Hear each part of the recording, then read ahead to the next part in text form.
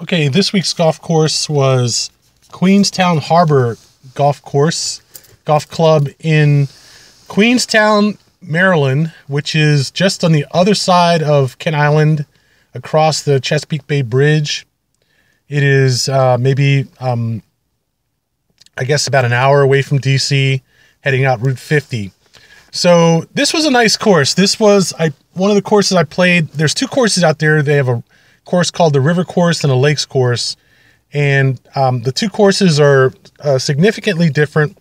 One runs in, I guess, sort of in figure eight, but on the outside of the um, the, the the Queenstown area. It's sort of to the west, north northwest, I guess, along the Charles River, and it's a big course, not outrageously long from the back tees, but not short either.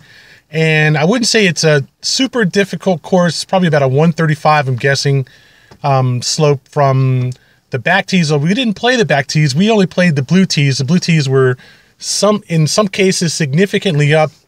Uh, they moved the blue tees up to to the white tees on a lot of the holes, and the and while the the back tees were still there, they're actually green on the back tees.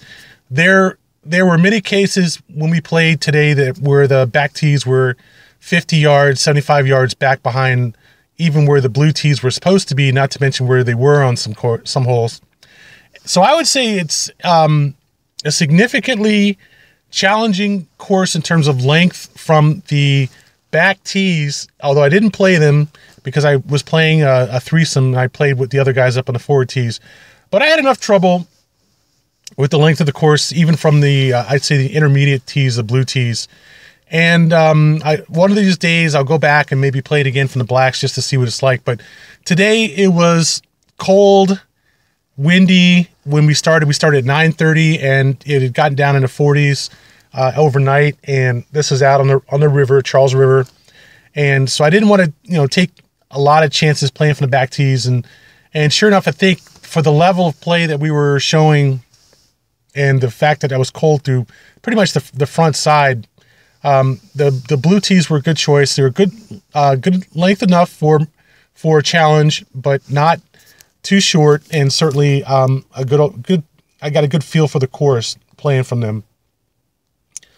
But if I had played from the back tees, it would have been probably another you know another fifty to seventy five yards on average from the blue tees. So I definitely can say that it's a long enough course for people for who are intermediate players to play even from the blue tees, not to mention the, the back tees. And the big thing about this course was, as I said, there's two courses. One is sort of a, a normal um, mixture of a woods course and a neighborhoods woods course, but it's closer to Route 50, so there's more road noise on the course, and it runs through more houses, so there's more houses on the course. But the other course, the river course, is not just back towards the river where there really were only maybe four or five houses that we saw on the whole course. And that's largely because they were building three houses at the at the time on in the space between the um the first green and the fir- and the second tee box. But um it was really pretty devoid of houses. There really wasn't a lot hardly any almost no road noise whatsoever and the only thing I really could say that was there in terms of distractions was um, airplanes flying into, I guess, the Kent Island Airport. You could there were you know some um, small planes, some choppers, not a lot, but still enough. And, you know, we you noticed it, and they weren't low. It wasn't like it's real close to the air to the airport, but it's close enough where you could see them flying over the course and and hear them and stuff. But so the course, I think, got a very good grade for distractions. Now, I would say part of that was because it was early. It was, you know, the first week of April and there weren't any boats out on the water. So no jet skis, no, no power boats or anything like that. Because we did play a fair number of holes that were very close to the water, if not right there on the water. And I, I think it rates very, very well for that in terms of low distractions, good views over the over the river. Um, you can see you know, Annapolis and, and Baltimore from a few holes and so forth. And, and definitely there's a fair amount of water in the course. The um, verticality is not bad considering that it's a flat course by the river, mainly flat course. But there's enough verticality, enough swales. There's some parts of it that are links and parts of it that are woody, woody where you're playing in a chute and so forth. But overall, I would say it had some verticality, a surprising amount of verticality, considering the fact that it was right there in the river. And I generally have to give this course pretty high marks. Uh, it was long enough but wide enough. There was some waste, but not too much waste. There was some water, but not too much water. The shots were uh, challenging enough, but not too challenging. And I think overall it was a definitely a you know 125, 130 course and a good, decent challenge golf. But the one good thing I really liked about it was it was long enough and wide enough, and the shots were definitely you know um, 420, 430, 440 yard par fours. Um, I guess um, considering the fact we were playing for the Blues, the uh, par threes were somewhere between 150 180 yards. We actually had the most trouble with the short one that was downhill. It was only about 125 yards, but you know, um, two out of three of us under clubbed it and put balls into the water, and it was a good 75 yards from the from the far edge of the of the little inlet there where the water came in to the green. Plenty of room, plenty of space and I'm like, oh, well, we're all going to screw this up because it's almost too easy. And sure enough, chunk, chunk, boom, boom, boom, you know, two balls into the water. And um, so it wasn't like the kind of course that it was a walk in the park, but it wasn't really hard.